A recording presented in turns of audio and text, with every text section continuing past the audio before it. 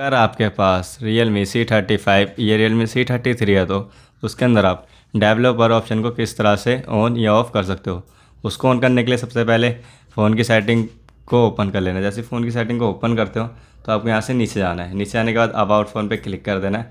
वेशन पे क्लिक कर लेना उसके बाद बिल्ड नंबर पे पाँच बार आपको टैप करना है। जैसे आप टैप करते हो, आपका जो भी स्क्रीन लॉक हो, आप उसको यहाँ पर एंटर कर दीजिए। आप देखते हैं यहाँ पर डेवलपर ऑप्शन हमारा ऑन हो चुका है।